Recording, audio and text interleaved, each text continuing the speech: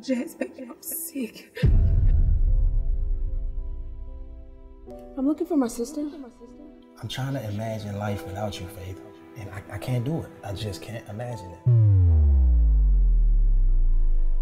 You need to stop being so stubborn and think about that. Good night. You're a coward and you know it. It's scary and almost too good to be true the amount of things that are happening to us right now. Unfortunately, we will be making some changes. What are you doing here?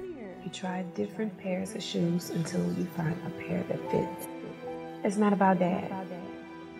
You think going to the hospital makes you a great father? Newsflash, that doesn't make you a great father. I need you to be straight with me. Am I gonna die? Faith, I need you to remain calm and listen to me very carefully. You must go to the hospital.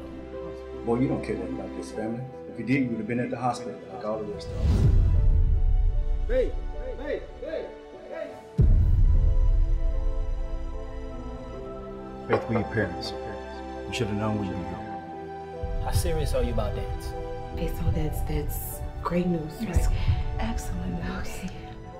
If I was diagnosed with cancer and you got a sprained bone, I need to know if you're gonna be here for me and for Jasmine.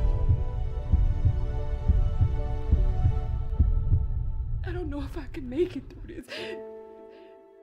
I need an ambulance, quick!